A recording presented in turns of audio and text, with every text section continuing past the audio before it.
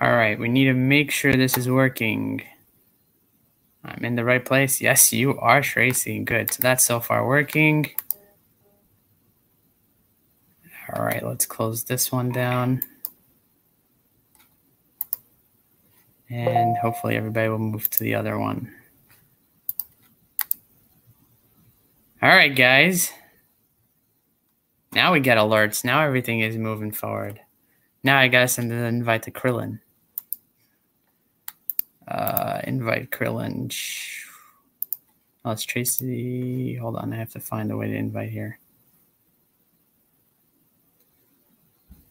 I'm going to say hi to everybody in one second. I just need to send this to Krillin. Copy the clipboard.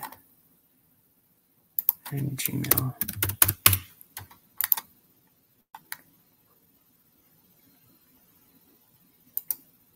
Okay.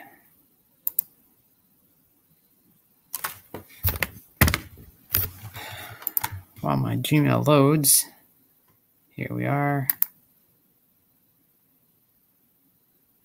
You see, I didn't even get alerts that I was actually going to end up going live, and I was worried I did something wrong.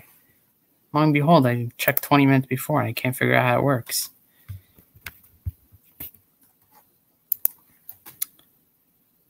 wow. All right, so YouTube is going, but Gmail is having a nice song and a dance. Come on, I need to compose to Krillin. Live come now. Send.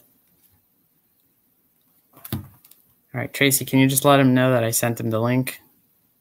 Or it's sending. Here it was sent. All right, everybody. Welcome. Welcome, welcome. Who's saying hi to? Brian, Try Flippers, hello. Tracy, hello. Dory, hello. Deep Fried Deals, what's up? Karen, welcome. Dan, Susie, oh, we're getting people. Nice. Louie, Marie, Ken. Hello, everybody. Hope everybody's doing well. Uh, I'm mainly here for a question answer session. Uh, here is the man of the hour, also. Let's hey, what's up? What's going on? What's up? How are you? Good, good. How are we doing? Good. Well, I had a whole mix up over here, but it seems that everybody got the memo to switch over to this stream instead of the other one. Okay. So we're doing good. So how many so, people you have in the you have people in the chat already or Yeah, we have about 12 people and Tracy's there.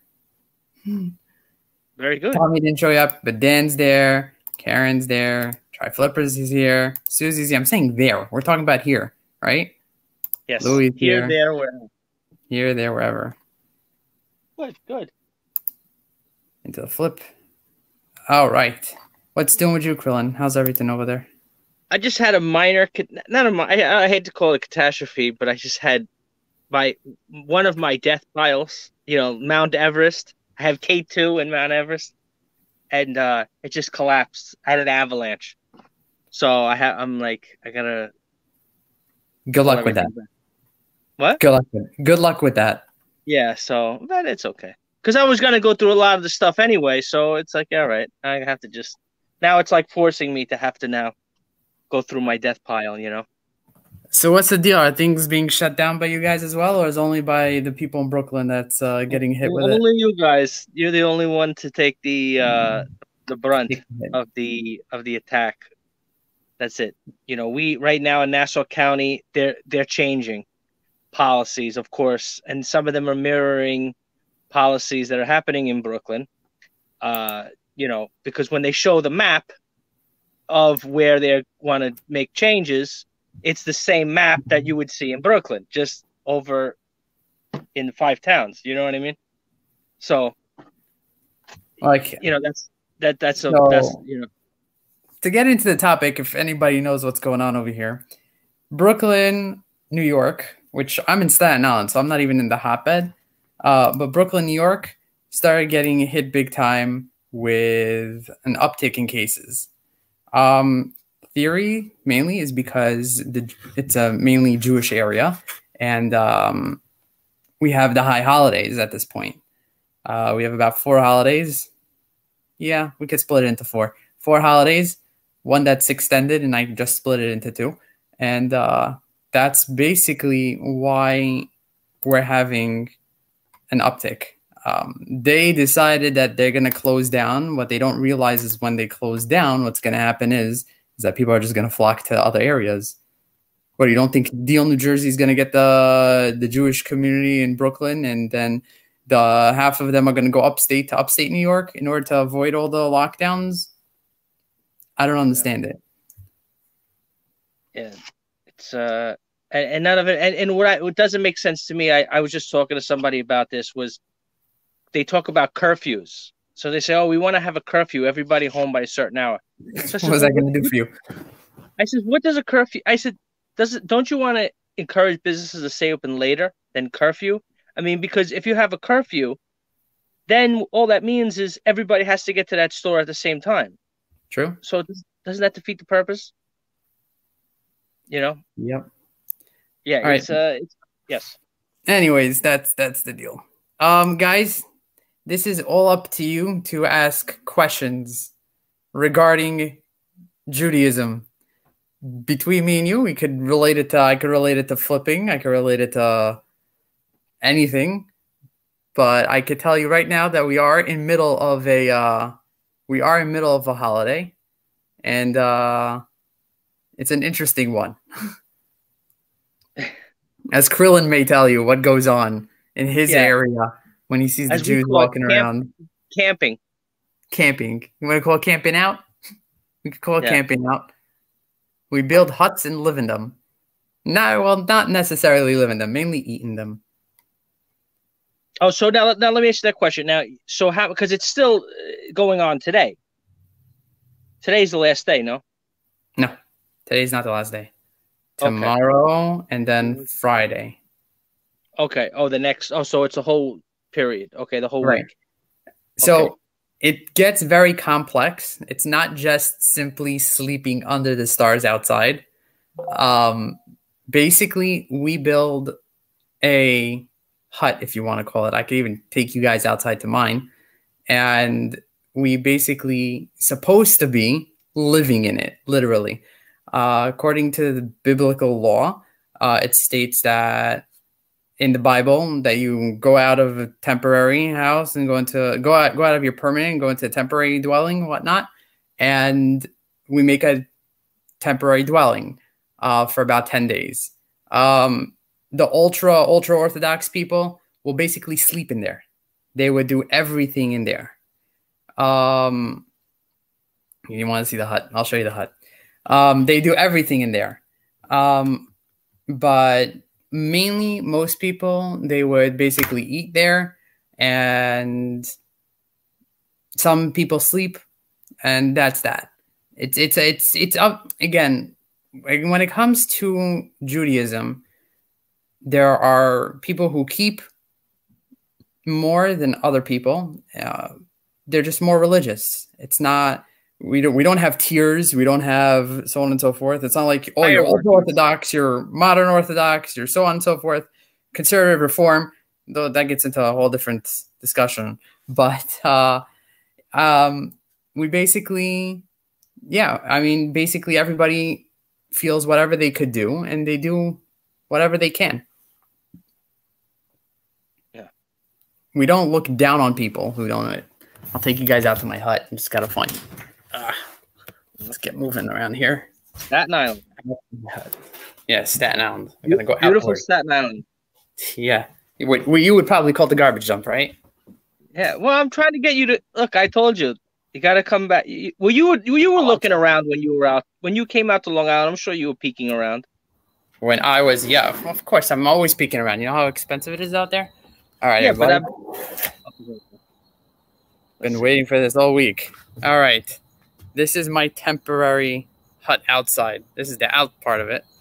What we have on top of it basically is bamboo. Sheets of bamboo, if you could see at night. This is what covers it basically.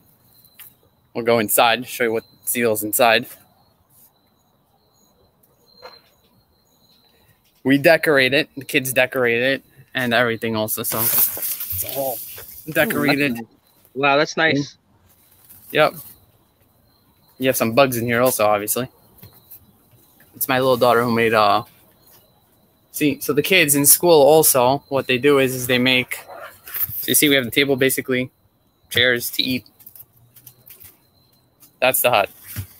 I can even do it out so from out here. this question. Uh, now you hear somebody's air conditioning going on. That's loud. That bothers you people, I'll go back in. But I'm outside for now. So then, as far as school, do, do your kids go to school with other kids who would be ultra Orthodox or Hasidic or no? So, school wise, we call it yeshiva. Yeshiva is a, is a Yiddish term for school, basically. Um, you have you have let's see, you have different yeshivas do different things in sense that like so as I said, there's modern Orthodox, which basic we're all the same. We all hold the same. All Orthodoxy, whether they're modern Orthodox, ultra Orthodox, and so on, everybody holds the same. When it gets to conservative and reform, it's a little different. Not only different in the sense that they believe the same things, but they do things a little differently. Um, the rituals. Yes, the ritual. Um, like yeah, the rituals. Yeah, for, for example, you could say the conservative are a little bit less stricter in the sense that they would um, they would integrate when we have when we we're in temple when we're in synagogue. According to the Orthodox, you have a separation between men and the men and the women not because of sex differences and uh, we're looking down upon the woman, but rather because the guy's mind goes all over the place. And if you're going to be looking at a woman who's sitting right next to you, you're not going to be concentrating on prayers to God, basically. So that's the whole sense of that. But according to conservatism, you should have it because of the whole situation with uh, sexism and so on and so forth. They'll they uh, they have the women sitting next to the men. It's just it's just the way it's just the way that they that they look at it. Um, reform, on the other hand, totally totally different. Mm-hmm. Totally different. They have a whole different outlook. I mean, they it's more like church. I mean, they, they'll they'll say it themselves, from what I understand. So, it I don't I don't get it myself. It's that's them. But when it comes to mm-hmm. orthodoxy in schools, um, you have the more stricter schools, you have the Hasidic schools, and you have the less stricter schools. So less stricter schools, you would see basically yeshiva with girls and boys together, which is co-ed, and just to have Jewish studies added to it.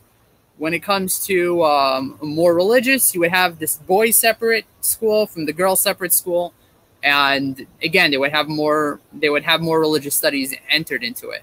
When it comes to um, when it comes to uh, the Hasidic, believe it or not, their main stuff is only the Jewish studies, and they only do, and they only do, um, and they only, mostly only speak in Yiddish. Mostly, yeah. most of them only speak in Yiddish when it comes to Hasidim.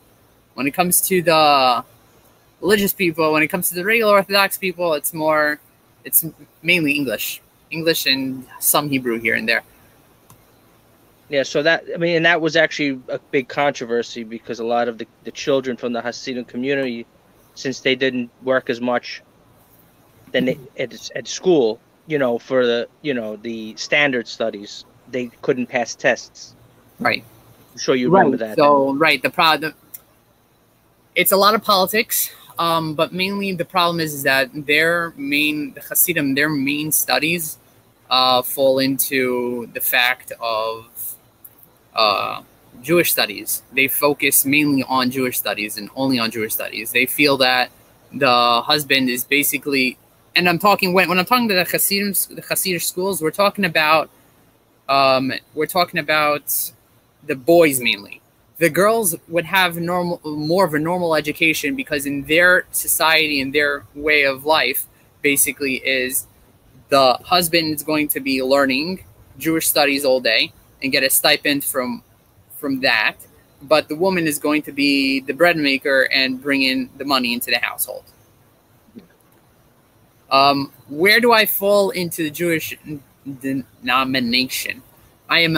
I would like to say modern Orthodox. I again, I would basically say there's two, maybe two, three levels of Orthodoxy. You have modern, the more like we call it yeshivish, the more like hardcore, and then the Hasidim basically. Uh, that's that's where it falls into that. I'm trying to catch up on seeing what stuff's going on here. Can Krillin sleep under the awning at Taco Bell? Sure he would no, love to. So now that another question is too, which uh, I'm sure, obviously you're gonna have a better answer than I would naturally. Go for it. But I'm making the assumption that the pre- the prime minister of Israel is not, or he does not, he does not practice the, the ritualistic Orthodox faith. He, he doesn't. I mean, as far as I would, I mean, I was, I'm assuming, you know, um, that he does. Who the prime minister of Israel doesn't hold is not Jewish. I, I, I was under that impression. I mean, he doesn't wear the yarmulke or you the kippah. Or, you know, he doesn't.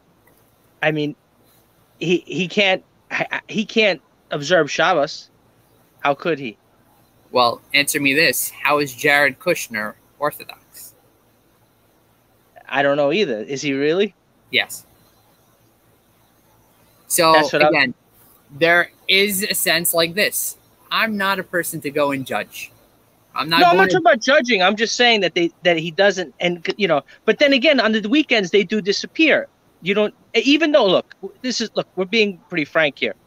Jared is running a, a large portion of the country. I mean, it's kind of it's not talked about, but Trump is. You you see him on the Twitter and doing the rallies, but the actual job, the work, like you know, you actually have a job to do. You know what I mean? Like pick up the phone, call this guy, do this, that. Jared and Ivanka do the work. You know? Okay. Uh, we're gonna get into politics. I mean, well, but I'm saying this is not. I don't even think this is politics. This is just like, re, you know, like what's going on. You know, we see. I don't know. I don't know, what they, I don't know what they do in the background. Well, obviously, when they come up with deals and stuff like that, what happened is then they interview Jared, and he knows everything what's going on. It's like he was the one doing it, all the all the work behind, you know, just not front and center, you know. All right, if you want to hold that way, you can hold that way. But the main the main ideology here is that I'm going to skip over this, guys, because I can't get into politics here. Because if I'm going into politics, forget it. We're going to hold. I didn't mean to, I'm sorry. I didn't mean to get into politics. I'm just only only because of his the you know. We're finished. I'm sorry. Oh no, I'm just saying that like we can't we can't uh speak into that one. We can uh but yeah, Jared basically um and is the prime minister. Yes, they are Jewish. Yes. Um, so again, um, are they Orthodox? Jared Kushner is Orthodox. Um, he does keep kosher, as far as I know, as far as the media and so on and so forth. He keeps kosher. He keeps the Sabbath. If you want to get into that, we'll get into that also, and um, so on.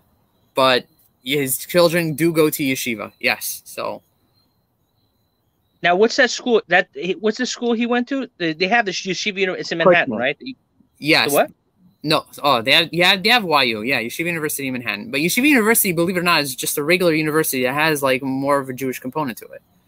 Oh, so they have secular Jews or Reformed Jews that go there. Yeah, for sure. Okay.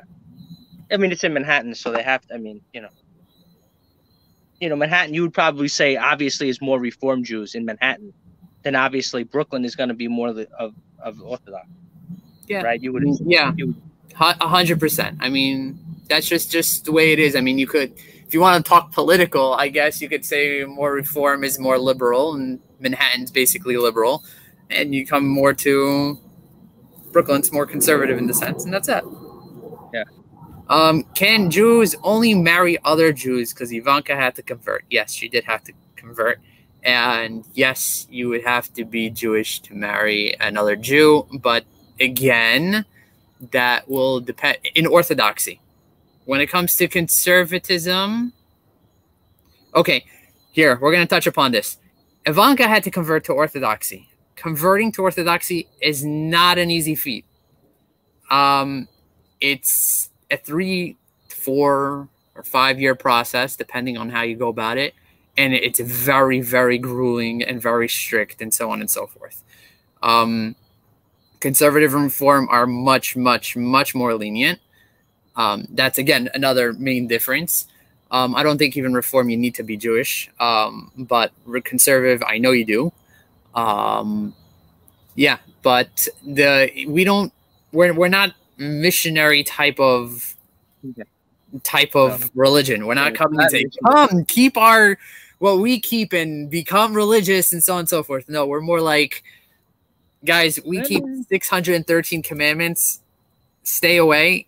Keep your seven or what you have to keep and let's call it a day, you know? Now, you you, you went on the birthright trip? Have I ever gone on a birthright trip? No, but I oh. did. I had a three year sabbatical year in Israel. So I was there. Oh, so not the one with the special program, but you went there just on something different. Not the one that everybody goes was you know which one I'm right. Right. So yeah, Birthright's another program that, believe it or not, is funded mainly by Christians. Yeah. Birthright's funded by Christians in order to actually get all the Jews to Israel. Yeah, and and they come back with all the T-shirts with the the army from the the Israeli army you know when everybody comes back with those t-shirts that they just came back right? Yeah for sure. No those t-shirts are fun. Yeah my brother my brother's in the israeli army right now. Mm-hmm. yep. Wow. They're on full lockdown over there believe it or not. They're not allowed to maneuver around at all. Yeah and there's conflict and and, and obviously there's probably even more conflict there now too because they're locking down and and the people there the people who are who are ultra orthodox Hasidim, they want to you know, it's their holiday too. So, you know, the government's being strict on them also. You know, that's happening. That's uh right. you know, it's happening in a lot of places, you know. Steve, you lived in Brooklyn. Uh, well, in New York. I don't know where. In New York, could be Williamsburg, could be Brooklyn, because you were mainly near the Hasidim. And they smell of BO. So I can attest to them. Do they shower? Yes Okay, I I am a nurse, and I deal with Hasidim a lot because again I'm in the New York population. I deal with all types of people a lot. Um, body bo is personal hygiene. Their main problems, if you want to say, is believe it or not, they wear a lot of garments. In the summer. They wear heavy stuff. Yeah, when you wear a black wool coat in the summer and a black hat, black attracts the the the the heat, the light. So you're going to be sweating a lot. You wonder how, you know, eh, somebody is, you know, going to, um, you know, how, how you survive in the summer when it, you know, when it's like 100 degrees out and they have a black outfit on. Yeah. Well, but that's mainly the reason. There's no no problem with showering whatsoever or bathing rules do it as much as you want, as much as you need, however you hold of it. Mm-hmm. Now, cool. you've been go. I'm sorry. What? Now, have you been to the um the north? Are you familiar with the North Shore at all, Long Island, or not really? You know, like the I like the Great Neck. No, but I'm saying the people because you know there's people much yes. there. The people are much different. It's like people uh middle east it's not uh you know like five towns is more ashkenazi jewish. Yes okay i'll explain the north, the north shore you're gonna have more middle eastern you're gonna have people who are um i don't know like uh, from iran people from uh i don't know where else you know what i'm talking about. It's it's so, it, and that's different too. So well it is different and not different. Again, as I said, we're all Orthodox. So we all keep the same rules, the same concepts. We all keep the Sabbath. We all keep all the holidays. Um, where it differs is basically a little bit in prayer um, and a little bit in customs on like what you wear, what what they wear, and mainly in prayer Really, there's not not much more than that, and just prayer. Like they say, they add a little bit to, or and we subtract a little bit too. I'm of Sephardic descent, which means I'm basically I have the Middle Eastern part. My father is Egyptian, and um, I mean you could say there, there are Jews from Iraq, Iran, um, Egypt, go go through all the whole Middle East. Anyways, so that's the Sephardic Jews. Mainly, they kept um, different they their prayers differed uh, slightly believe it or not just slight differences. It's not even crazy differences. I could daven in an ashkenaz i could daven i could pray in an ashkenaz synagogue with no problem whatsoever. Um, ashkenaz is coming mainly from poland germany and more of europe. And they again it's only the only reason that things differed was because of customs. Customs changed a little bit only because of location Hence, the Hasidim mainly came from Russia, and you see them with the shtreimels. That's their furry hats. So that's, I mean, that's main to Russia. So that's where it all comes down for them with their furry hats. Uh, if you look at more of a European, you would see that they have the black hats, the black top hats. Um, but if you look at the Sephardic, you don't see them with anything. They ain't wearing okay. turbans. You know, otherwise they would wear the turbans coming down. But yeah, that's a difference in that. That was one of the I was talking about food wise. That was probably um, one another, of the closest guys. That changed. One of the guys, the closest guys who I knew, who he lived in the area. Um, actually, they do have the Sephard. We went to that Sephardic temple that's right there in Cedarhurst. Right. Right down the road from where yep, the picture. That's, that's where, where the that's Where I, that's where I was praying. Yeah. Yeah, that's where we we went there. We went for um for uh for the bar mitzvah for this guy. His I don't know if his name the guy's name was Effie. I don't know if that's short for something. It is short for something. Yeah. A Hebrew and, name called Ephraim, but okay.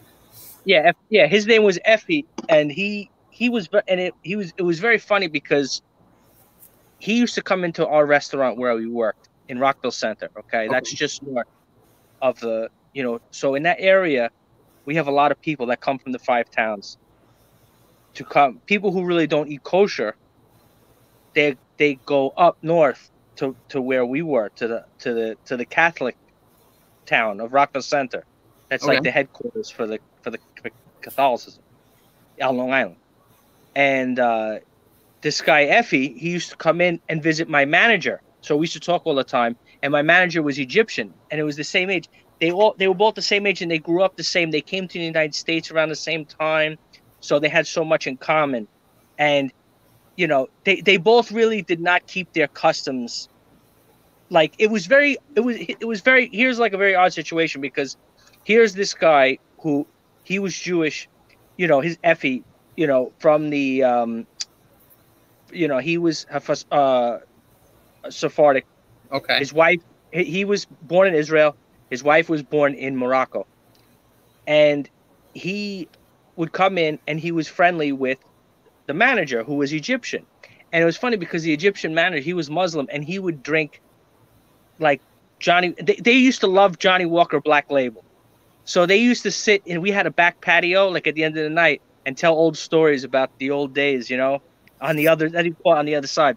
So they would they would smoke tons of cigarettes. I'm sure you know you have family members. Okay. Sephardic, right? No. Hookah mainly. Okay, fine. So make the story short is that the he he would eat, uh, uh you know, because he would kind of keep kosher, but like he would just not eat the okay. meat. He would come in and he would eat like just pasta with sauce. He just would eat no um, nothing meat wise. So and the other guy. That also depends what? on. Okay, fine. I'll I'll hit on top of that. Okay. Yes, and his kids, and, and it was very interesting because uh, the guy who was, uh, who we thought was very liberal because he was Muslim, uh, Egyptian, he would drink, drink, drink, drink, drink, and then, um, but like certain things he was very strict on, but then certain things he wasn't strict on. Like we used to laugh about that. We used to be like, this guy he sits there and drinks all day. I thought he Muslim, you're not supposed to drink. But then like it just it just like it was just picking and choosing which which uh, uh, things you're not supposed to do. But anyway, they were very good friends, And one day he was work. They had the, the bar mitzvah on a Saturday or night, and what happened was Long he asked me. Make a long story short, that's why I had to drive down to that down there by the uh, right off the peninsula, the uh, uh, Sephardic temple, because Right. He wanted me to bring him there because the guy didn't have a car because he was a drunk, the manager. So he's like, "Please bring bring Mike down there." You know, and then we got down there, we got to see the whole place, big place, and that's where they had this big ceremony, live music. Believe it, believe it or not, I think that that Sephardic, that huge Sephardic temple over there, I, I'm pretty sure it's reform. Yeah. Okay. So that's what that is. Okay. Yeah, I'm pretty sure they. I'm pretty sure they're reform over there. Uh, but you touch upon the fact that uh, here, Josh asks, "It's kosher turkey bacon, kosher turkey bacon." Yes, if you have ta- bacon that's turkey, it's kosher. I mean, it's not coming from a pig. We're just not. We're not allowed to eat pork whatsoever. Um, again, it goes into laws of kosher. Um, basically, animals you're not allowed to eat anything that doesn't have split hooves and chews its cud. If it does one of them, like the pig has split hooves, but it doesn't chew its cud, it's not kosher. It needs to do both. Um, but again, I'm going into laws here, people. It's a little, little too much. Uh, but again, Now eh, you- eh, to each their own. I mean, people, some people eat out. They would eat out. Um, they would eat out dairy. Uh, some people are more strict on dairy and less strict on. Well, most people are strict on meat.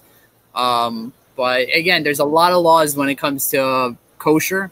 Um, a lot, and it's not just the rabbi blessing it. It has nothing mainly to do with the rabbi blessing it. It has a lot to do with um, the way they cut the animal, the way they, um, the who's watching the process.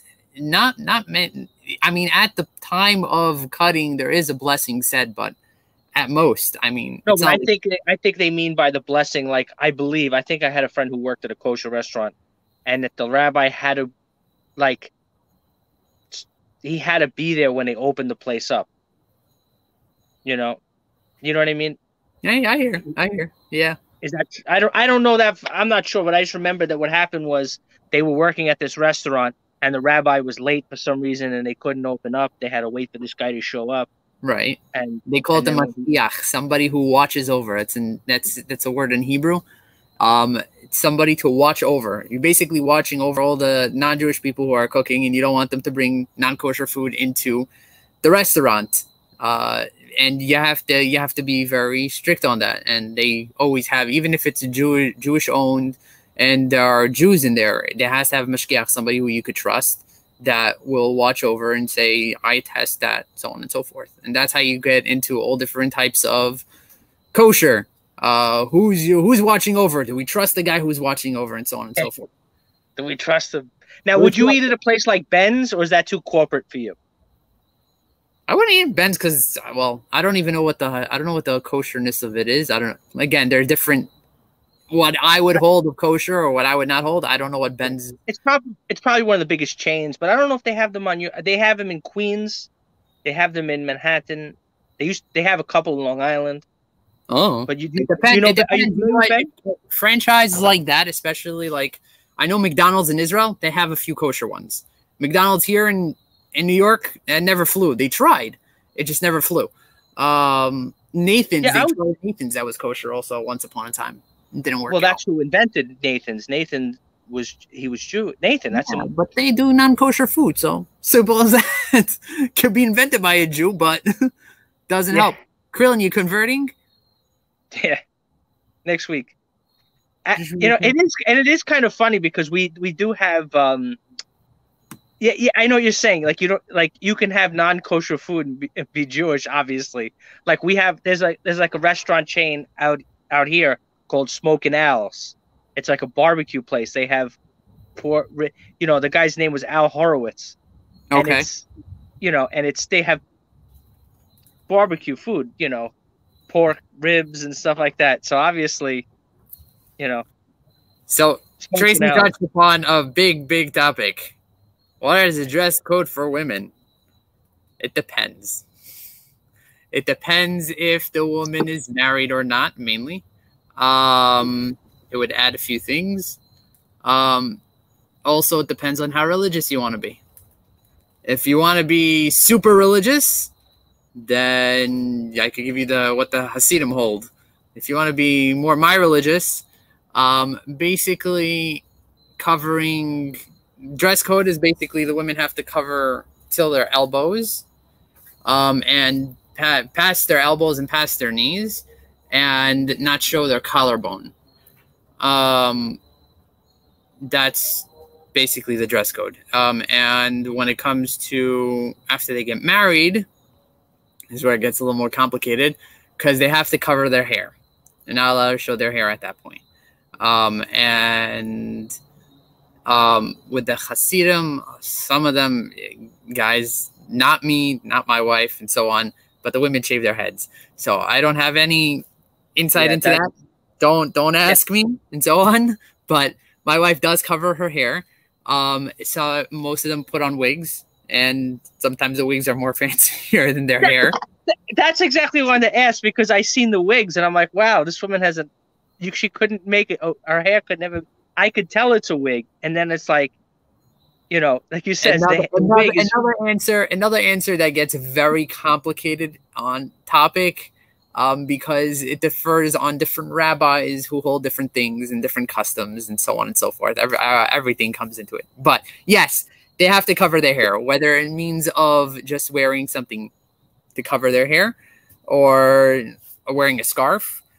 Uh, some women, if you see in Israel specifically, they have a nice way of doing it.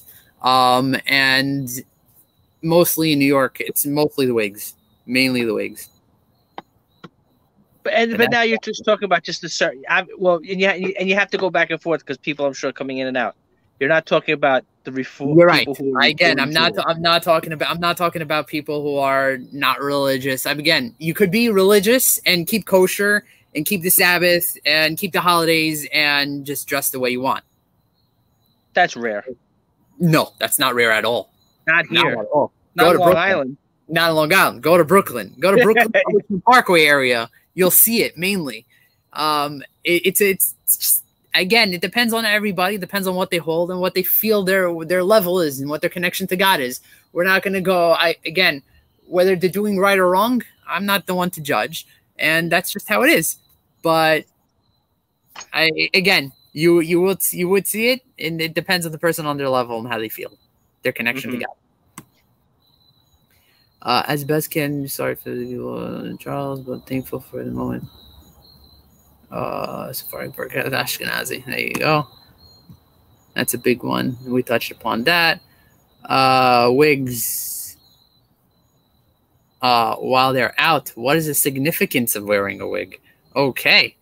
Yeah. She, you Let's know, talk- she's from Long Island, Karen, right? Oh, I didn't know that. Karen, I did yeah. not know you're from Long Island.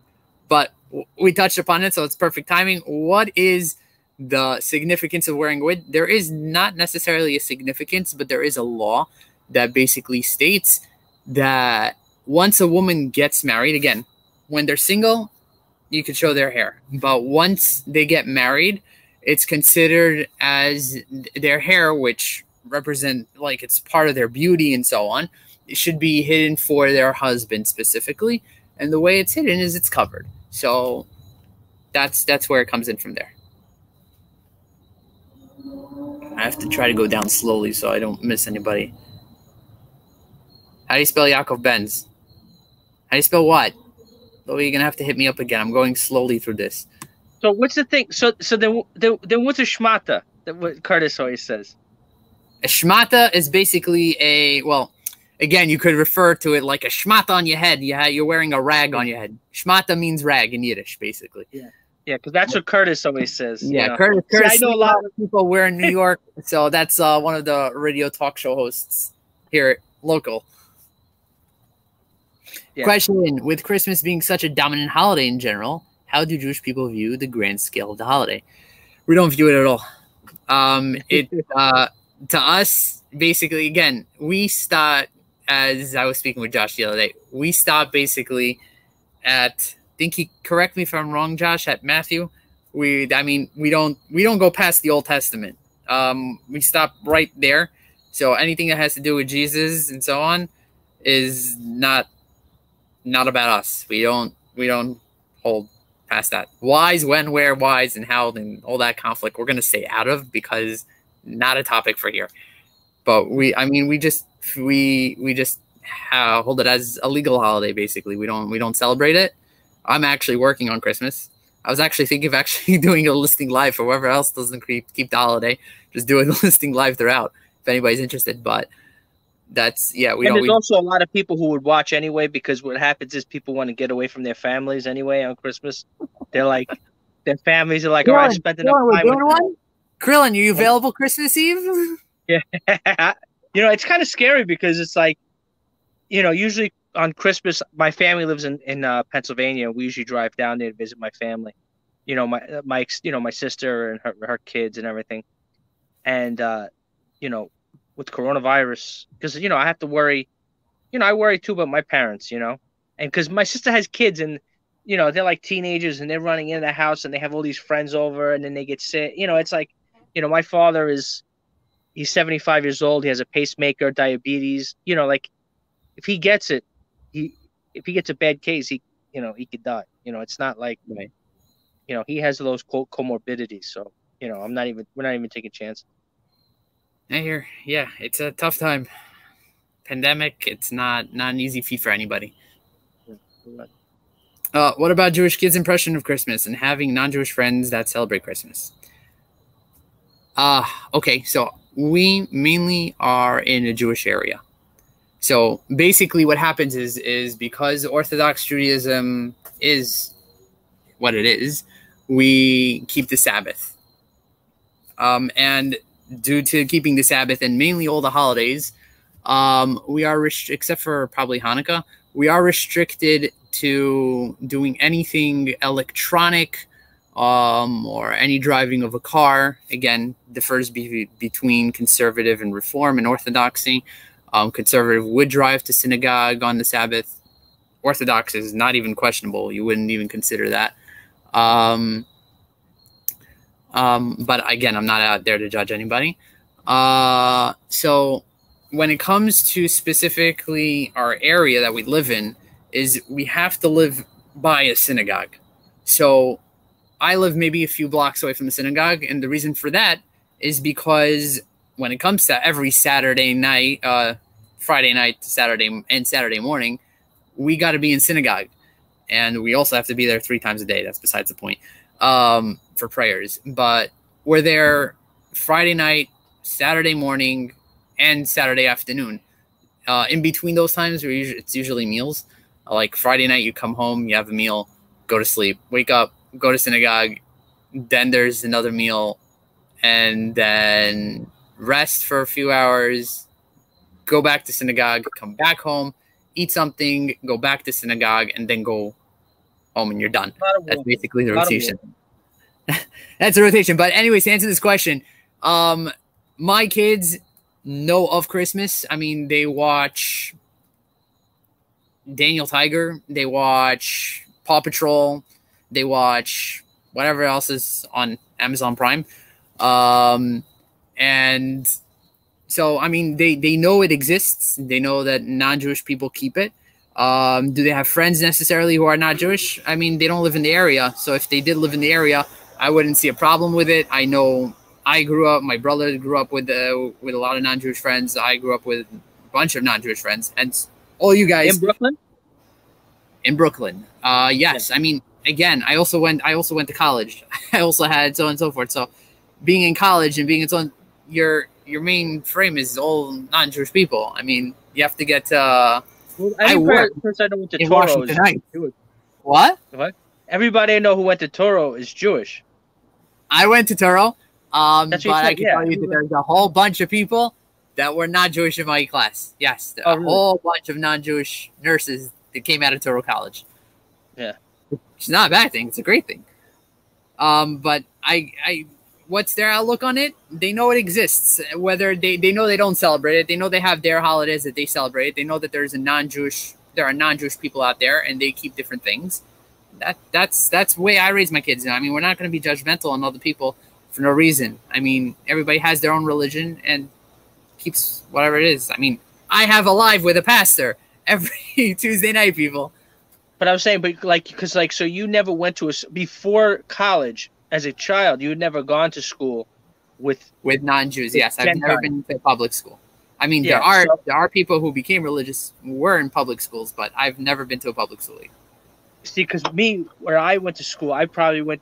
I, I, you know, I know some people they think I'm talking out of school as the expression, but my if I showed you my yearbook, I have probably the most diverse group of anybody in. A, I I would compare my yearbook if you want to talk about diversity to any uh, when I graduated my high school of anybody in America, because we had people. Obviously, we did not have, you know, there was there wasn't anybody who was you know no there was an Orthodox obviously, but people who were you know secular Reformed Jews, people who were Catholics, Protestants, you know Muslims, Chinese.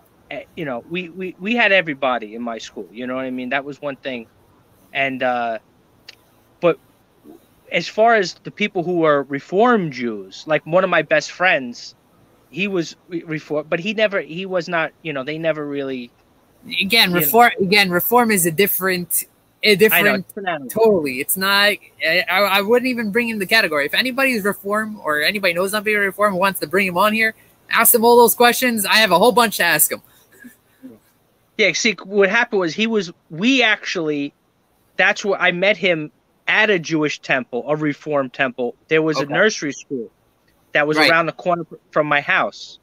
So I went. I went to nursery school eating challah bread for lunch. You know what I mean? That's that's where you know because that was the um that was what it was around the corner from my in my neighborhood. That was the nursery school. You know what I mean? So make this that's where I met him and other people who were Jewish, and we became friends. And we went to school, you know, uh, public school together. And like as far as Christmas, now they always had Hanukkah, so it, wasn't like like they were able. They had Yeah, gifts but too. Hanukkah doesn't compare to Christmas. I'm No, sorry. no, no. But I'm just saying. But but my point is, when you're a kid, you you, you care about one thing. Okay, Nintendo is coming out. Am I gonna? Is my mom gonna get me Nintendo or something, whatever it is? And for Hanukkah, it's the same difference. Am I gonna get? And that was the best part. Was I went to school. I know many mixed faith. I I I, I can't I can't even count how many people who were Jewish and Catholics. Uh, you know, that's how they that's how they were they were raised, and Right. they always double dipped because they're like, oh, I, I'm getting my presents for Hanukkah. I'm getting my presents for Christmas. That's all they gave a shit about. It had not any of the rituals or anything. It did none of that even mattered. Like if you go in the south and and like where I where I was actually today. You sometimes you see me. I go to that Greek place Yeah. there's that there's that it's oh it's the best there's that if you go further along island there's that town called merrick and then there's bellmore and the other towns there's a lot of people who are you know it's it's jewish or catholics and a lot of them are married together so you have jewish you, you i mean like you'll have jewish temple and then across the street you're gonna have catholic church you know what i mean like right right down right literally it is, yeah. like you have Cure Vars is next door to two, you know, the Catholic Church is the next street. Then there's two huge temples right next. And I don't know. That's a good question. I don't know which one, if one is a Reformed temple and one is not. That's a. I should probably. I will, but I always make sure I, I know it when they're doing their rummage sales. Remember we were talking about that? Because they they, they I do the never, rummage. I've never seen anybody. I have never seen like a Jewish place actually have. Are you kidding Not me? They have the best. They have have some of the an best hour ones. and a half down to. And when I come to you, believe it or not, you don't even come and say hi. That's very insulting, by the way. What do you mean? You When were I- I, I- around. So it's the holiday. So I ended up taking a trip to my uncle's house, who lives in Woodmere. So I sent Krillin a picture. Sent him a picture saying, Krillin, I'm here, but I can't talk to you right now. So I'll talk to you after the holiday. So I spoke to him after the holiday. I told him, Yeah. I'm here. He's like, I'm in my basement. Yeah, but I wasn't near you at the time. You said I'm I'm cutting off, and then I texted you on Sunday. That's where I was on. uh You're like, oh, I'll be I'll be back Sunday night. So I texted you. I figured you're gonna Well, be I around back- Sunday. I was back Sunday. No, Sunday night. Sun, no, Sunday morning. Oh, you figured I'd be around on Sunday. No, so Sunday night. Sunday night's when the holiday ended.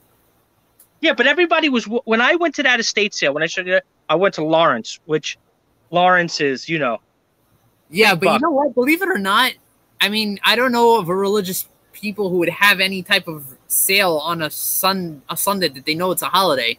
With mainly the Jews walking around, you said that there are babies and carriages walking around. So the main yeah, they, those people did not come in. They did not come in. It was Of just a random. But like, but again, if they were if they were smart, they would do like uh they would do an estate sale mainly on a day that Yeah, people but what can the- come in. Yeah, but the way, way it works with the estates, a lot of times somebody say this is how the estate sales work is that they sell the house and then right when they sell the house, they usually sell it first, then sell all their stuff. Okay, the furniture and this and that. All So what happens is they have the state they sell the house and then there's usually a mad rush to then just sell everything. So that's what happens is they um it's a matter of timing. It's like okay, we have to get rid of everything. Because a lot of times I mean, those houses are going for I mean, that house I was in has got to be a million dollars. You know. So Easy. I wouldn't be surprised. yeah, with with $35,000 a year taxes. With taxes, Yeah. crazy people Yeah, out Lawrence, there. You but, guys, but also, but that's also, but that's Lawrence. You know what I mean? The, the certain areas, Lawrence, Hewlett Harbor, those are you know like that guy. He what's his name? Effie. He used to, Right. he used to cry because he would have to, he would spend uh, his taxes were like fifty thousand plus in Hewlett Harbor. You know, but meanwhile, it's funny. It, we used to hate him because he would come in and like cry about like things like, oh my god, I have to pay that fifty thousand taxes. Meanwhile, we were all like, man, we wish we could afford to pay. yeah, like I could afford to pay the fifty thousand. It's funny because he used to come in. He used. I remember this was like when I was working in a restaurant. I don't know, six years ago, seven years ago, and he was crying big time. Do you remember when Uber taxis became really big? So they, they started like blowing up. Right. So he owns like 25 taxi medallions. And now, for people who don't know that are in the chat, if you own 25 taxi medallions, you're making a lot of shekels. Not know? anymore. Not Well- anymore. Tax medallions went down because of Uber. Well, but but yeah, Uber Schmuber, you know. what I'm saying? no, but but Effie, no, but beforehand he was making big, big, big bucks. You know, All right. And then and like- then and then and then Cohen had a hand in it as well. Yeah, exactly. Oh, um, you know, he Michael that's where he's from too. He, you know, he's he's from Lawrence. You said No, Cohen? Michael Cohen? Yeah, you know that's where he's he's from there. I don't know. All And all right, let's go back to topic because otherwise we're we're just never gonna end. oh, I thought we were talking about the business Uber. We'll get back to it eventually. Uh, Tracy wants to know: Are there any nightly rituals, for lack of better term, during the Sabbath? I think you're referring to uh, nightly rituals. Not not specifically. Uh, I mean, the Sabbath specifically is meant for rest. Uh, for lack of better term. Uh, I don't know what you're referring to specifically. Um, let me know. I'm gonna keep going down. I'm going down slowly in the chat, so that's why I'm not picking up everybody. But I'm trying to get all the I guess what she means, like when you go home Friday night. Like what time do you Yeah. get home Friday night? Depends on how the sun is rising. In no, well, it depends. It depends if Well, it's uh, summer or winter. Winter. Oh, here's another concept. The Sabbath starts at sundown. So if the sun's going down at four o'clock, uh, then we start at four o'clock. But we end earlier because we would end in following day on Saturday earlier because sundown till sundown on Saturday. So it depends. I could be home by six o'clock, five o'clock. I could be home by ten o'clock. Well, mainly nine. I don't think 10. 10's way too late. But okay. What time do I get home? when you get home, like say in the fall, like when you get home, you know, if you go there at five o'clock, six o'clock, where I think whatever was, six, seven o'clock, whatever it was, and then you stay there what for two hours? You said an hour, two hours. No, I go. I go to. I go to synagogue for about an hour, prayers, and after prayers, I come home. I have the kids running all over the place, so we got to tend to the kids. Um, and we sing and dance with them a little bit, and then we sit all down by the table. If it was that simple and it really worked out that it'd be nice. But kids are kids. Uh, we sit down by the table, we eat, and uh, we put the kids to bed, and we go to sleep. Yeah, early. Well, because that's again, insane. You're not supposed because like the whole idea right. is every family. There's no nothing. So yeah, we would basically have books. Like I just showed Josh the other day that I that I bought a specific book that I could read read while I was like, why'd you buy it? You could get it probably online for free. I said, I bought it because I have no choice when it comes to the Friday. Yeah. But that's yeah. That. Oh, but then okay, so then Saturday morning, then you said you go for you go there and then come home for lunch and then go back. So Saturday morning at that point would be Saturday morning, wake up, synagogue. Synagogue's probably later until probably until eleven. So we start at nine, end at about eleven. Um, you could either hang out with friends for a few minutes for about an hour before I walk home. come home and again we sit down for a meal, um, lunch at that point. I mean, if you wake up earlier, you could have breakfast um, before you go to synagogue, and then after that, it's basically free time until the afternoon prayers. Uh, free time meaning again, we're in the Jewish area, so everybody else around us is, as Krillin said before, you you saw he saw everybody in Lawrence literally walking around with strollers and so on and so forth. Everybody walks around, goes to their friends, and hangs out. It's it's it's it's a gathering time. It's a time to again. This is the main reason that we're having this problem with this pandemic over here because now we're in holiday season, and everybody gets together. Families get together for the holidays, and you can't stop it and people spread, and that's what happens. That's why. That's why it's happening, and that's why they're hitting on us. But yeah, it's uh, but he, but what was I saying? Um, good question. You know, how strict are you when it comes to food? Pretty strict, believe it or not. Pretty strict. Um, as far as food on the outside that's not prepared in your house, it has to have a good. It has to have. It has to have a hashgacha, which that word basically means it has to have a rabbi or somebody, a mashgiach, as we spoke about before, somebody who's going to be watching over the process. Yeah. In the restaurant, so a lot of like there are a lot of different organizations like the OU, Orthodox Union, or the Star K. Um, these are basically labels that if you look on your food, I'll go back in the house in a minute. Yeah, see, like um, Curtis, I ordered these things. Remember, Curtis was talking oh, about I have, this. I have balance of nature. I have balance of nature. Um, let's. Oh, you want to laugh too? Speaking of the radio, I'll tell you real quick. Say goodbye to the sukkah. We're gonna leave now. We're gonna go back into the house. I'll find some kosher food to show you guys. But yeah, um, basically the kosher is that you have. I mean, most of the food here. Oh, we have Tropicana sitting on the table. That's a perfect example. So it would have, let's say, an OU on it. Here, let's see. See, this has an OK. An OK is OK. I don't know if you could see it right there. See, OK on the Tropicana bottle. That means it's kosher. Um, stuff that I prepared at home, like fruits, vegetables, and so on and so forth, are fine. If here, there's another one. This is basically veggie sticks for the kids. Got it from Costco. So you would see in the back, right over there it says OU kosher, certified kosher. I would have to make the screen big, but I'm holding my computer with one hand and doing that. So I hope you guys see it. I'll try to come closer. Certified kosher. There you go. That's the OU.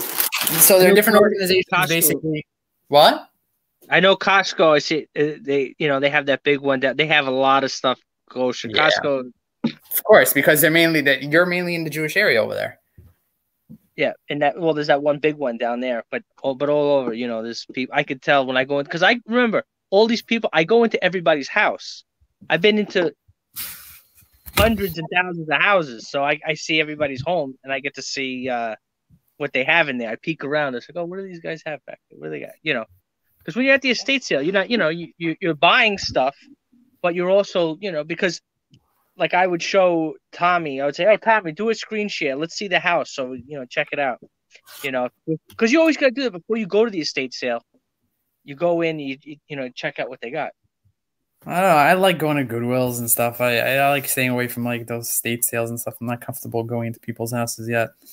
Although I do it for a living, which is the funny part. Uh, See, that's another thing too. That's why I was laughing. Is that the other guy? Remember, we were talking about different people from different areas, Jewish people from diff- the one guy is from Iran, and I, he's he's. I would see him on a Saturday at the estate sales, and I would always wonder. I was like, why would I? See, maybe they leave early on Saturdays. Certain people that they don't stay the whole day. uh, Could it be that he wa he doesn't? Obs- I, it couldn't be possible that he doesn't. ob- This is a guy, and you know what? He would always wear his yarmulke, right? Would always be the most intricately designed. Like I noticed, you only wear black. me? I don't only wear black. I only seen you wear black. That's Yeah, it. the black yarmulke. Yeah. Yeah, but that's nothing to it. I mean, it's just what fits me nicely. If This guy- flashy. This guy, he would have these ones with these patterns that go out like this, coming out. Okay. Like the most in. This is the guy I took from Iran. The most Right. intricately designed. Well, I said, "Oh my god, this thing is like it must have taken so much work to make this." They do. They're very expensive, believe it or not. The Yeah. the knitted yarmulkes are very expensive, especially when the ones that are handmade. Yeah, this one was beautiful, and and, and, the, and you know what is the colors just like, you know, Oh, yeah, it just.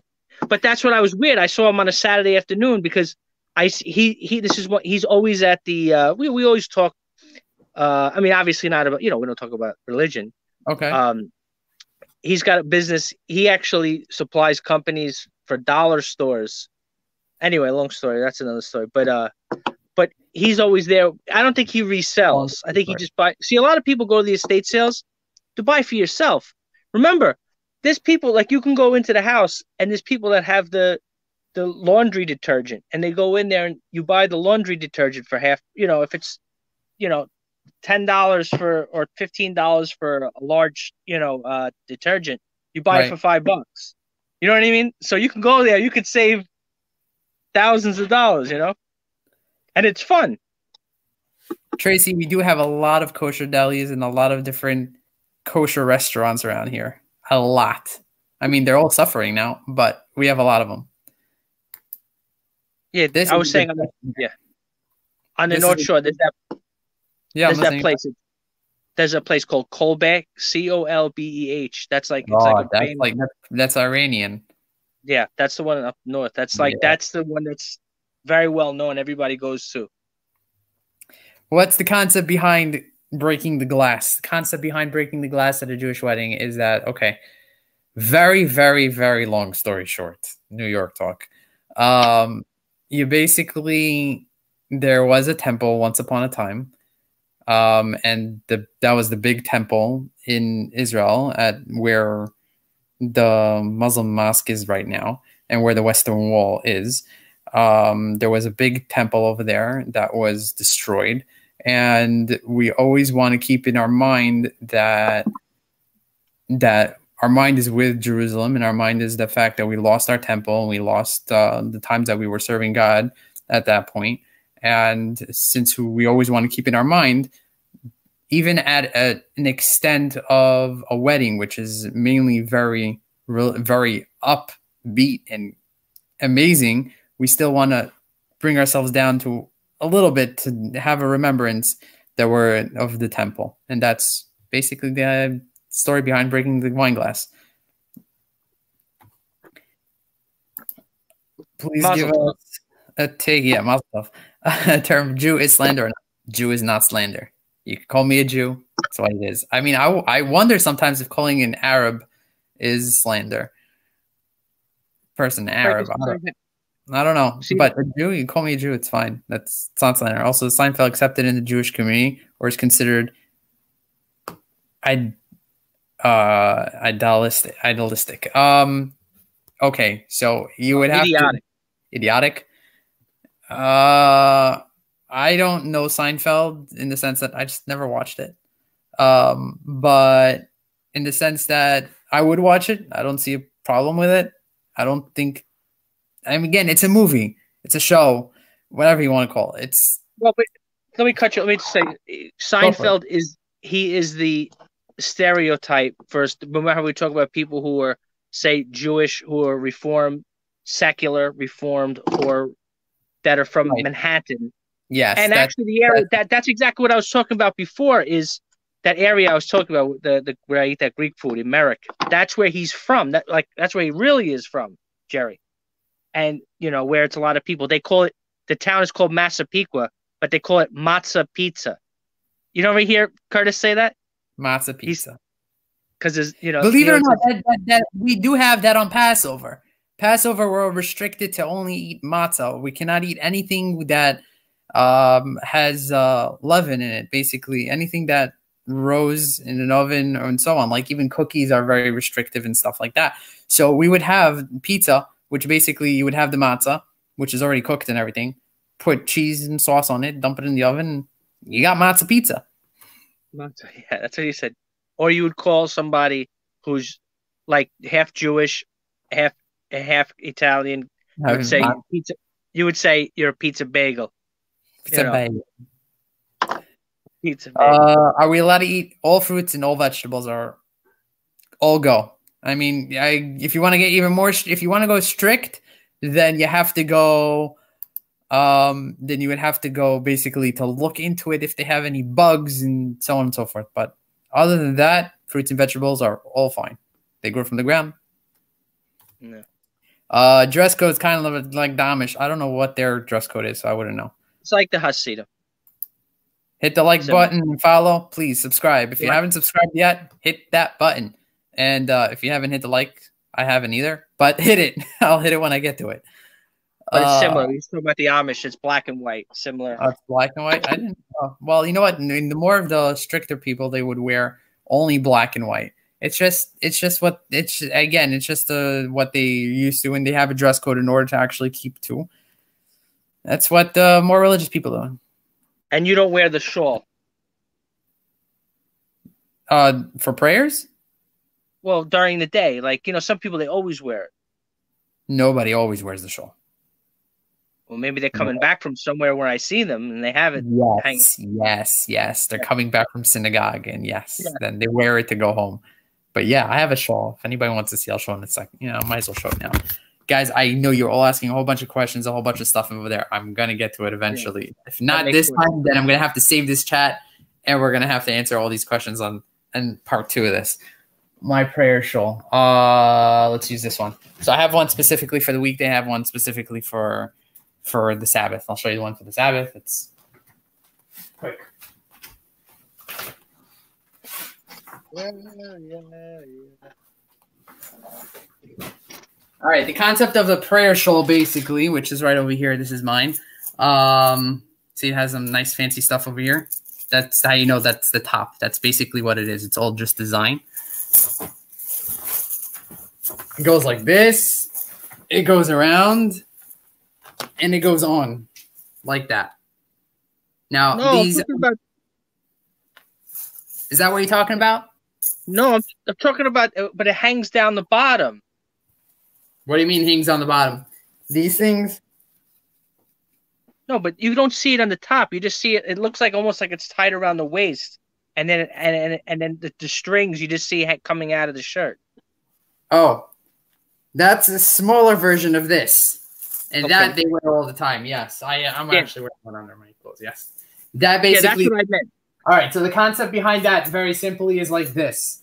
There is a law that um, all four corner garments, hence the prayer shawl that I just showed you, all four corner garments are required to have a um, are required to have fringes, which are basically strings attached to the end. Again, all symbolic and all all stuff. Very complicated stuff. Um, very very long story short uh, yeah. Again, I'm seeing myself using it. It's New York in me. Um, long story short, again, so why do they wear it constantly? Is because if you're going to wear a four corner garment, you're going to get a mitzvah. A mitzvah is something that, like, it's a reward up there uh, in the afterlife. Um, so they want to add those mitzvahs, and in order to add them, if you wear a four corner garment, every second you're wearing it, you add an additional mitzvah. So they wear it constantly in order to add every second that they're wearing it. Uh, let's go further down here. Our marriages arranged among more conservative groups. Uh, okay, that's a fun question to answer. Arranged marriages. Um, hold on, let me just put this back because I need for tomorrow morning. Arranged marriages, I can't say don't happen. They do happen. Uh, more in the more of the Hasidic groups. In the more modern Orthodox, what happens is is basically you would have like a matchmaker set you up. Um, it doesn't have to be like this. Again, you could meet a person randomly. I mean, you guys, you want to say a bar, in a bar, at a wedding, at a party. Um, so it could go either way that way, or you could, or you could go through a matchmaker. Matchmaker says, "Oh, I know this girl," and you say, "Okay, set it up. Let me go out with her." You go out with her, and that's believe it or not how I got married through a matchmaker. Somebody uh, I know set us up. Not the millionaire matchmaker. No, not the millionaire matchmaker. Not the millionaire matchmaker. Yeah. But it does still happen among the Hasidim. Um, you do still have an out, from what I understand by them specifically. It's not fully arranged in the sense that you have to marry. I mean, you you meet the girl first, you figure it out. If it works, great. If it doesn't, then move on to the next. But again, uh, premarital sex is a no go by us. Also, uh, Yeah. premarital touching is also a no go by us. Yeah, we'll have to get into that one. Somebody asked that question. I'll get more depth into that one if you want. Uh, so That's why when the, the guy calls up on the right on the Curtis, you know, they were talking on the radio. He says, "Look, because the girl who's with him, I she's annoying. The girl, uh, Juliet, okay, right. and you know, she's like, oh, wh- why can't they just put off? Because she she doesn't. I mean, she's just oblivious about everything. You know, not just about, you know, uh, you know, she's oblivious. She's always like, why can't they just put these weddings off till next year? And the guy calls up. He's like, you don't understand. They don't have boyfriend girlfriend kind of situation. They got to get married. He's like, you don't understand. She's like, yeah, but what about next year? He's like, no, no, no. You, you don't get how this works. The caller was telling him. He's like, they got to get married. When it's their time to get married, they're getting married. That's it. All right. Uh, so the women who shave their heads, do they have covered their baldness? Yes, they do. They actually sometimes have wigs also uh, to cover their baldness, uh, as much as they can at least. Um, am I allowed to say schmuck? Say what you want, but is it derogatory? Um, we don't use it. I have I haven't heard it. Only like in. It basically means an idiot. What an what an idiot. Same thing. Well, If you want to be a little bit more derogatory, fine. Where is it holding the derogatory uh levels? I have no idea. Schmuck Schumer. Uh, yeah, tell yeah. Let's let's stay away from that politics. Oh, yeah. I, I I I have what to say. I have a lot what to say. My child's best friend tradition had always had a holiday tree, but they called it a Hanukkah bush. Reformed. Yeah. Definitely, definitely. Hanukkah bush falls into the reform category. Does not fall into the Orthodox at all. Um, reason being is because again, they're more. They want to be more like the non-Jews and so on. So they integrate different things, and they created their Hanukkah bush. But uh, Wizard of Oz Christmas films question: How do you keep the Sabbath while on vacation? I do. Um, believe it or not, I went to Puerto Rico uh, last January, which I was hopefully looking to do it again, but not. There are synagogues pretty much everywhere at this point. Chabad, which is a big organization, um, they basically have synagogues everywhere.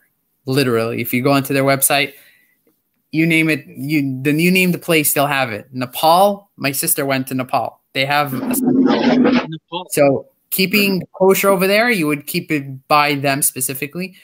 Uh, I went to Puerto Rico. There's a lot of kosher stuff. It's a part of the U.S., so there are a lot of kosher stuff in Puerto Rico. Uh, meat wise was very difficult. Uh, they had to ship it in specifically from Brooklyn all the way to Puerto Rico. But that that's Chabad. They do that. They do all that stuff for people who are vacationing and for people who go out to those places for um, for business. I personally, what we did when we went to Puerto Rico, we took a luggage. One of our luggages was food, was meat that was frozen, uh, milks that were frozen, um, and so on. They went under the plane, and that's how we went with that. And when we got to the Airbnb that we were staying at, we basically again. So another topic is is that kosher also has to do with the utensils you use. So like I'm not allowed to use um, utensils that were used for for pork. I have to use kosher utensils or utensils that were mainly used for kosher. If they're brand new, they're brand new. But if they're not brand new, then you have to um, then you can't you basically can't use them. Um, so we would we went we used plastics. Um, we bought like a burner and we brought a pot with us. So whatever we wanted to put in the pot, we can. Um, and we cooked whatever we wanted to cook, just like that. I mean, we had a microwave. The microwave is fairly easy to make kosher. Um, so we made the microwave kosher. We used the microwave, and that's how we went about it. It's not an easy feat, believe it or not. When everybody's in the pool, um, and yelling and, and you could hear everybody in the pool over the weekend and your kids are like literally running around the apartment and you have to just take them to like walk around the lobby to just air out because everybody else is in the pool and you want to go to the pool. It's not easy, but we do it. We make it happen. Um, they have synagogues, and do we usually? Yes, you have to usually make sure if you're strict as I am, or if some people aren't strict, some people just don't care. They go wherever they want to go. Um, but people who are strict um, try to find a synagogue to wherever they're going to be. Yes. But they exist. It's not like, you know, like I you said, you're going to go to a place like Puerto Rico. Yes. Puerto Rico. I mean, you know, I was surprised that Nepal would have something, but Puerto Rico, obviously, that's a big it's America number one. It's a vacation destination. So it's not like you go into, you know, some place that a lot of people don't go to, you know, on vacation. Right. No, so no, most people go on. So again, you if you want to say vacation, they also have they also have uh Deal New Jersey for the Sephardic Jews and like upstate New York for the Ashkenaz Jews mainly is like what happens in the summer. That's why I said before when we were starting this chat, a lot of people are going to escape to Deal or to which is this Jersey Shore or go to upstate New York to hang out over there. So yeah, the Catskills they're gonna they're gonna bypass all of this stuff. So I don't even know what the government is thinking. Um, Wendy, welcome. I'm sorry I'm I'm late on the chat. I know I'm just going through slowly so I can catch all the questions. Do you think Reform Jew is even Jewish?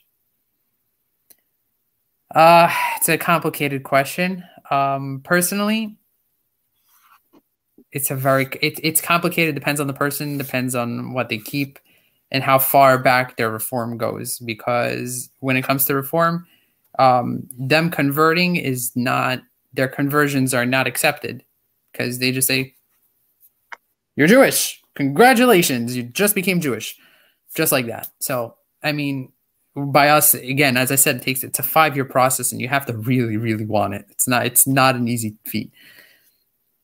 It's like getting the law degree. No you're just telling me. Yeah it is. Challah is awesome yes. Challah we have every friday night and saturday mornings. At the diner they make the challah french toast oh mm. as a kid that always present getting down getting down Keep going. Yaakov, what do you think of Krillin sideburns? Ah, sideburns is a good topic, Josh. he's he's trying. He's trying. He's trying to, to, to mimic. sideburns, according to Jews. Um, shaving. All right. Uh, shaving. Men shaving. You're allowed to shave. Um, Hasidim, they don't shave at all. They would never shave. Um, but the main thing is the sideburns have to be up till here up to the bone, that's where it has to be cut. You now let it go further up. Um, for me specifically, yes, I'm sure you guys never seen this, but here I have small sideburns on the side as well. Uh, that's just me. Um, some people do, some people don't. Um, that's just me, just simple, uh, just a little stricter. That's how you want to call it. Uh, the Hasidim, you would see they have the curls coming down. Again, more uh, more stricter, and the curl concept is fashion, if you want to call it. that's what they. That's how they look at it. Uh, I think Krillin's preparing for his Halloween costume. Uh, David's lighting the Sabbath candles. No phones, no work after sundown. One hundred percent lighting the Sabbath candles. We so the women usually light the the Sabbath candles um, Friday night, right by sundown. Oh, Wendy, you're Jewish. Nice. I didn't know that. Uh, most of the day in synagogue on Saturdays. Yes, we usually spend most of the day in synagogue on Saturdays. yeah. Uh, now, where, where does Wendy live? I don't know. Wendy, where do you live? If you're still here, I'm still going down slowly, so I'm still not 100. percent uh, does no electronics, car, etc., also include no AC heaters in the home since technically you have electronics involved in the function? Yes, I'm an engineering nerd. Um, good question. Timers. Simple answer. Yeah, because you're not operating. The whole thing, I, I, I was under the assumption that you just you, you're not supposed to operate the stuff. Correct. If it's so set to timer before the Sabbath, it's set to timer before the Sabbath. Mm-hmm. So allowed a car specifically. Obviously, there's no timer in a car. Um, most electronics, I can't. So if you want to be very, very technical and say the like the non-religious or the semi-religious or wherever they're holding, they would keep the TV on or they would put the TV on a certain channel so they could watch it on the Sabbath and so on. That's not allowed because of concept of what the Sabbath is. The Sabbath is meant yeah. for rest, not to meant to sit there and watch TV and not spend time with your family. So yeah. that's why that's not allowed, but can't stop people from doing things. You know, it's funny because yeah, I made the mistake. We all get into this mistake, like, oh, no politics, no this, no that. But you always make the mistake and we do it anyway. So there was the guy who I used to work with who uh I told you he was Muslim and but he he wouldn't his wife that's a whole nother story. She would uh observe the Ramadan he that, wouldn't. He couldn't. That, that, that but, Ramadan is a different religion, man. No, but I'm just I'm just talking about as far as ritualistic, you know. And then with him, because he would always blame his, oh, I have diabetes. I can't, uh, you know, when I need sugar, I. We like we didn't like you have to explain it to us. You know, we don't give a shit. Do whatever you got to do, man. We're working in the restaurant. You know, we're not gonna we're not judging you. But he always had to make it seem like, well, I have to because technically, if you, he would come up with this whole thing, if I'm sick, then you're allowed to. I says, okay, whatever. Make the story short. There was another guy who used to deliver the bread, and anybody who works in the business, bread delivery, they they deliver the bread at nighttime. Right. So, so I, but the whole concept, I would say, well, you don't really observe Ramadan because I and I asked the guy, I says, I, you know, just as somebody like I'm asking you, like I says, do you fast at night? Instead of fasting during the day. Like if you have a job where you work at night and not during the day, I says, he's like, oh no no no, I can I can eat at nighttime. I says, but but I because the guy Mike Mohammed, the guy he always he told me that the whole idea is that you're not supposed to eat because it's like you have to feel for the people who don't have food. Wow. Okay. So, so I told the look, I didn't know much, but my whole point is I was the other guy who was the bread delivery guy. I says, but you're not really observing anything. It's like the guy who would leave the TV on and watch TV, but oh, I didn't put the TV, I put it on yesterday. But technically, you're just kind of like, you know, because he's saying, well, I, I I observe it, but but I said, but you're in the daytime, so you're really not observing it. You're in, in bed, you know. Yeah, here. Difference kosher symbols. Yeah, so I'm going to touch upon this. Um, yeah, mixing meat and dairy not allowed. So cheeseburgers not happening. Um, that's why you would see the word parve on stuff. Yes, parve means that it wasn't used no milk, no meat in the process. So that's parve. So you're allowed to eat it with milk or with meat. You make that decision. Um, but yeah, no meat and milk. Very, very, very, very important thing that I didn't touch up on. And yes, those strolls are called taletot. That's how it's pronounced. Talesim, which is plural for or talit. It, it's it's just plural and non-plural. It's a Hebrew word. Did uh, she say where she's from, Wendy? Think it was New York. Oh, so she's from. Where are you in New York? So yeah, I'm assuming. Where am I in New York? I am in Staten Island. Krillin's in Long Island. But I work in Washington Heights, so I travel literally everywhere. and have my family is from Brooklyn, so.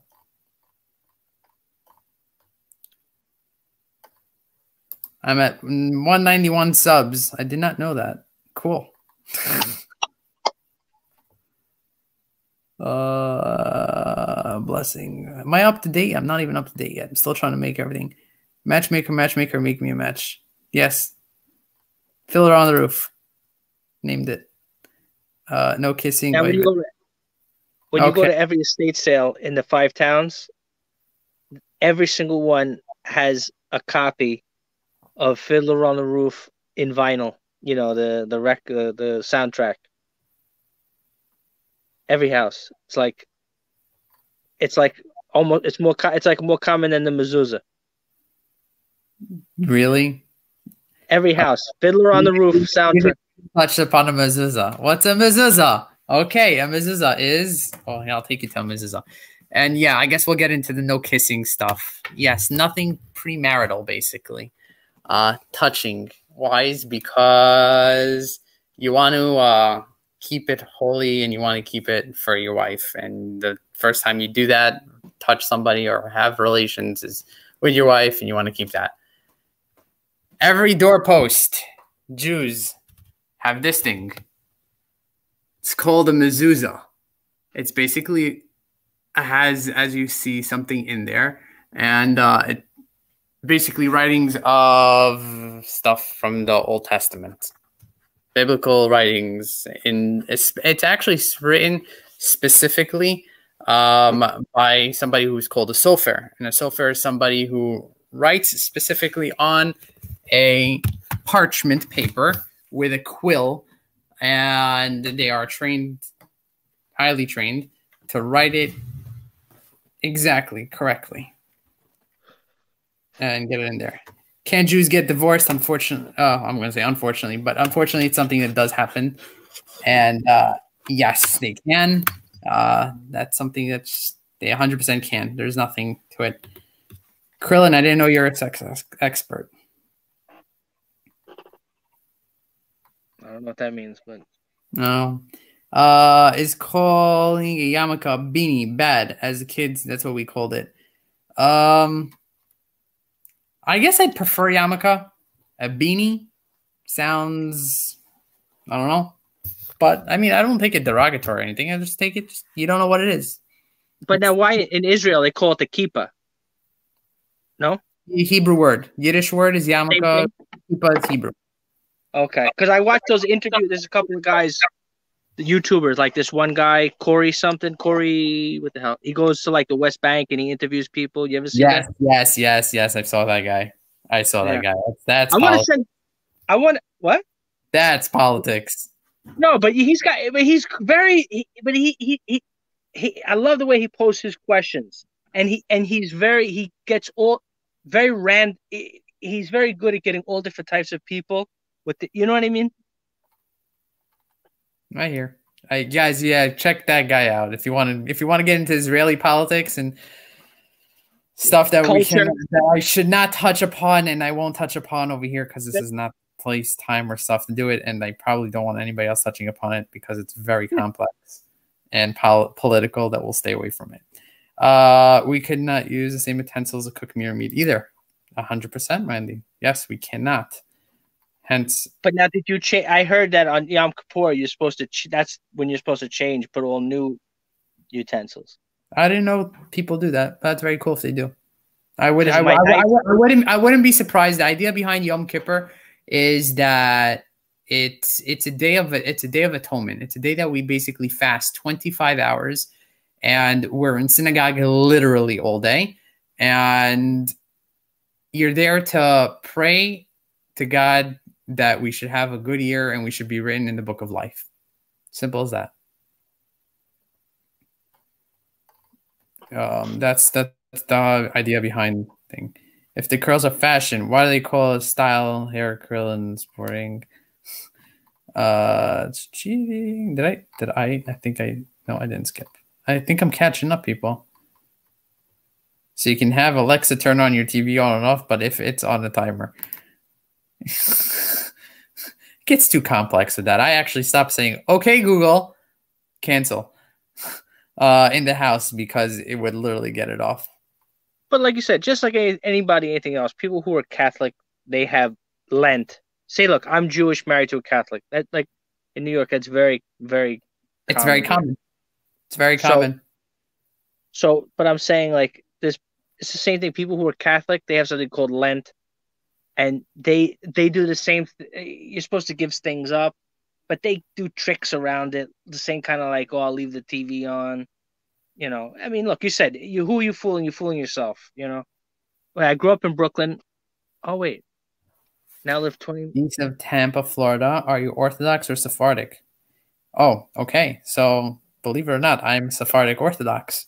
Orthodox doesn't define um, whether you're Sephardic, whether you're from the middle, from the Middle East or Poland or so on and so forth. Defines how strict or how you keep the religion, basically. Uh, there are three levels conservative, reform, and orthodox. Levels, I wouldn't really call them levels, I would call them ideas of how you keep it.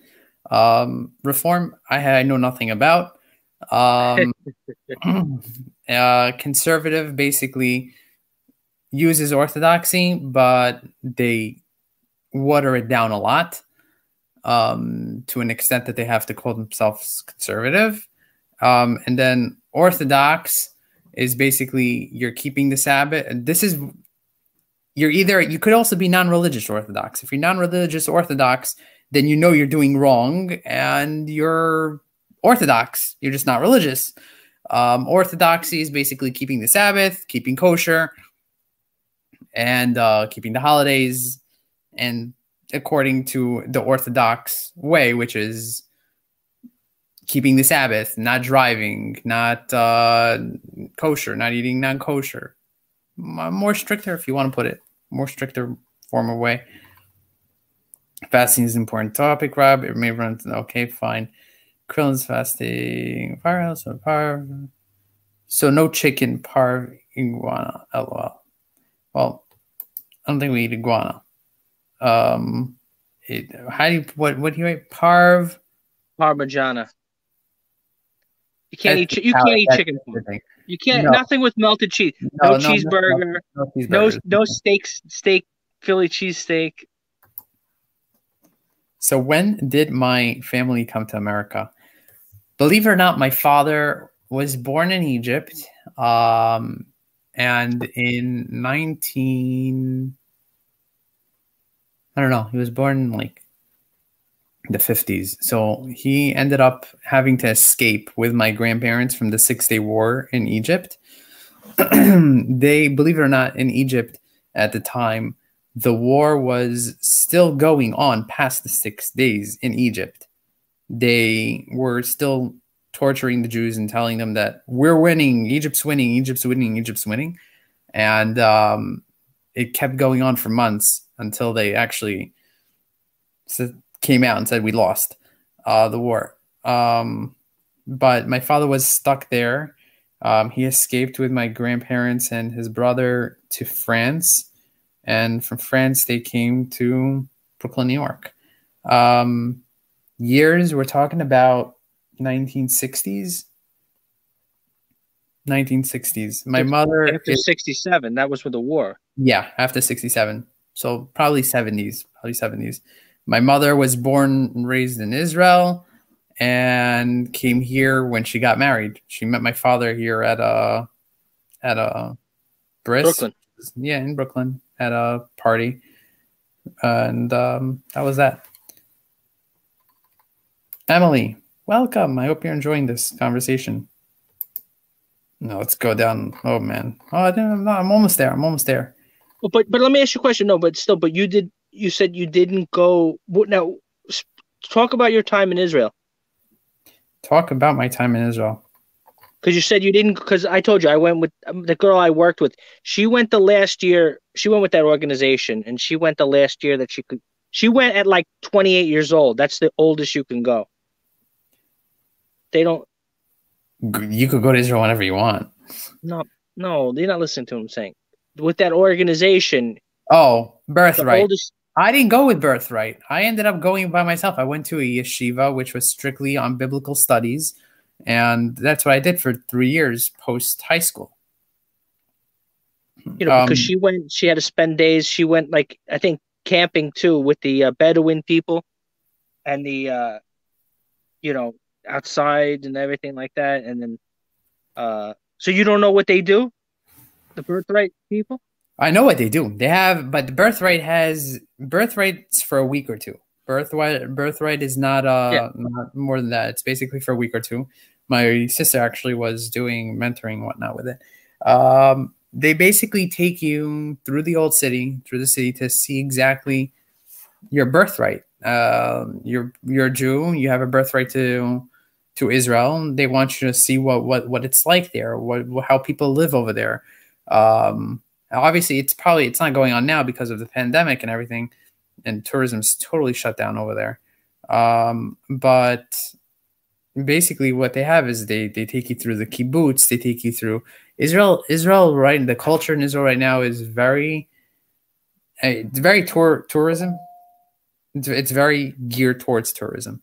So I mean, even even within even within the Catholic, uh, even within the Christian faith, yeah. it yeah, I mean it also holds a, a, big importance over there. So they have like you wouldn't call birthright. You'd, there there are other organizations that have certain tourist attractions geared towards it, but it, it it's there's there's a lot there. I mean, Israel's a very holy and spiritual place. If you guys ever check it out or have a chance after this whole situation's going on, but it's very, very cool place to go check out. Can you open the fridge on a weekend? Oh wow. You really want to get technical. That's very, very, very technical, Tracy. We could open the fridge. Um, Dan probably because he's an engineer geek can answer this a little bit better. But um, you could you should open the fridge only when the motor is already running. So you won't over do the motor and you should open it as you need it and close it. Um, you shouldn't open it when it's the motor is not running because if the motor is not running then it's going to be turning on the motor. Again this is very very technical. I'm talking about the, every aspect of my life has to be thought when it comes to shabbos when it comes to when it when it comes to holidays and how we keep it and so on. So now you have to. My friend, a guy, he was old. He's he's older guy. He's you know old. You know our parents' age, older. And years ago, he was from Brooklyn, and he was the Shabbos Goy. Oh, so here explaining Krillin's famous Shabbos Goy basically is a non-Jewish person, um, like Krillin, uh, who lives in the Jewish area and is available to the Jewish people to on the Sabbath or the holidays to come and turn on the oven for them if their oven goes off if they need a if they need it or if a light is on in their bedroom like their kids jumping around all over the place and says oh daddy i'm turning on the light. You know it's shabbos you're not supposed to yeah but i turned on the light anyway. So now you need that light closed because the kids need to go to sleep. So you have a shabbos goy uh, Goy basically means non-Jew. Um, that's all it really means. And uh, for yeah. the building, there's usually one like he was for the building. Where he in in New York, Brooklyn. Oh my gosh, that's really that's really that's really like Orthodox Central Brooklyn. I mean, you have to talk yeah. about Williamsburg and probably Williamsburg or Borough Park. No other. Yeah. Yeah, but this, but I don't, it, I don't, but this is going back to like the 1960s. You know, I don't oh, know. This guy's, yeah, this guy's old.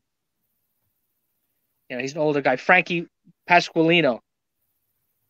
Wow. And uh, so he used to talk about that, like he said, lighting the stove and you know, and how he, you know, and it's funny because when he moved out here, he moved out to that area, which was, you know, uh, you know, like the re- well, actually, no, Oceanside they have uh, both. They have, uh, you know, they have, um, they have some Orthodox, not much.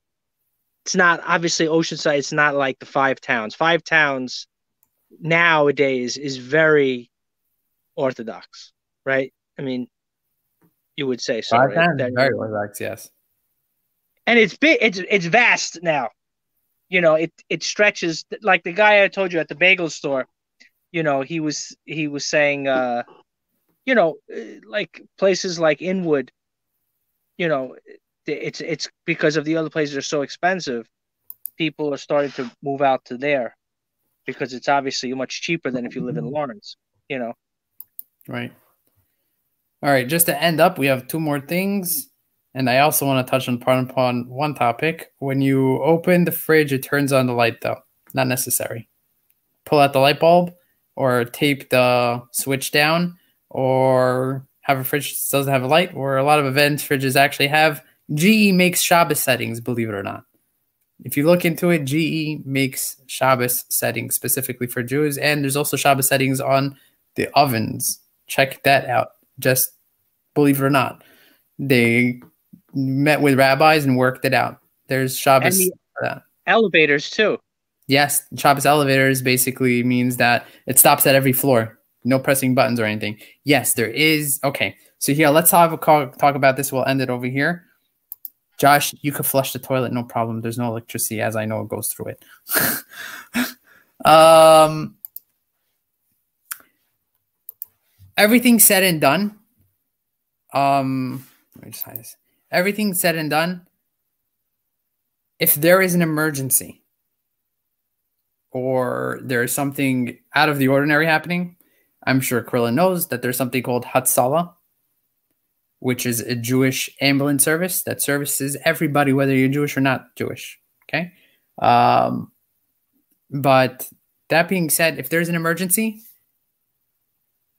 it's like a regular weekday. There is no there you emergency is emergency. It's not life comes first, period, in Judaism your life is at stake at any moment for any reason, life is most important and it pushes off everything. If a person's about to die because he's fasting on Yom Kippur, you feed him food fast. Uh, you know, there a person has an impaled object through their chest. I'm guys, I'm talking like this because I'm a nurse. But stuff like this happened, a heart attack on on the Sabbath, you call 911 or you call Hatzalah to get to the you to, to get to the hospital right away. And they're around. They're Yeah. around.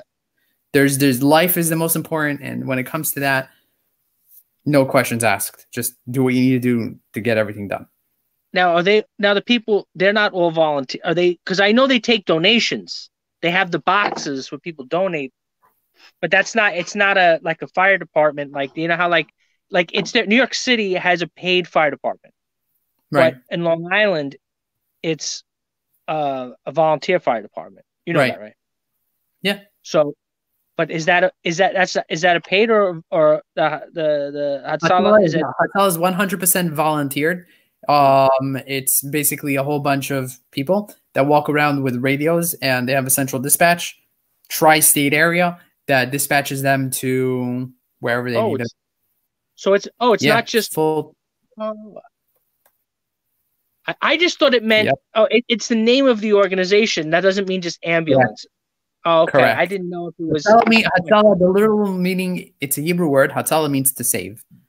okay. Um, believe it or not, in Israel they have something called United Hatzalah, where there are Arabs, there are women, there are men, all are all involved in saving lives.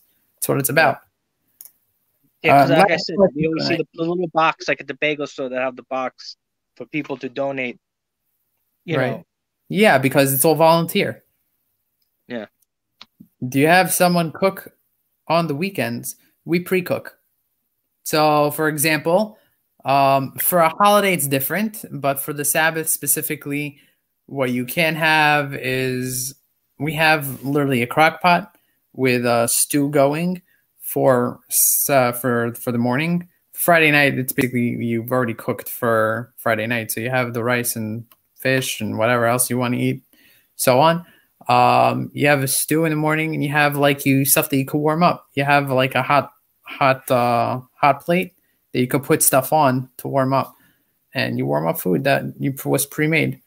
And, and if you make a lot of money reselling, you can have the Shabbos Goy make you something. Yes, and, and if you make a lot of, you need a lot of money reselling, especially for New York. To get yeah. a shot to hire a Shabbos Goy in New York, a lot of money. Yeah. Making money, you gotta have a nice meal, nice spread. You know? All right, guys. I think we're calling it a night. Krillin, I really, really, really appreciate you. I Anytime, really man. I'm around. It was, it was really awesome. Guys, if you have any other questions, hit me up on IG. Let me know if you want to if you want me to do this again. Um, again, all questions are on the table. You can ask anything. If I don't have an answer to, I'll try to figure it out myself. But um, guys, thank you for coming. Really enjoyed it. I hope you guys enjoyed it, and it was very informative to you. And you know what I go through now. Uh, and uh, see you on the next one. Have a good night. Oh, you oh, you click it off. I was gonna say the yeah, the, important, the one last thing I was gonna say is go for it. And and yes, people will say I you say I can't go to garage sales on Saturday. Yes, I cannot go to a garage sales. No, now I can direct them to watch this. I cannot go to garage sales on Saturday. Yeah, yeah that's the main thing that we say. All right. Have a good night, guys. Have a great one.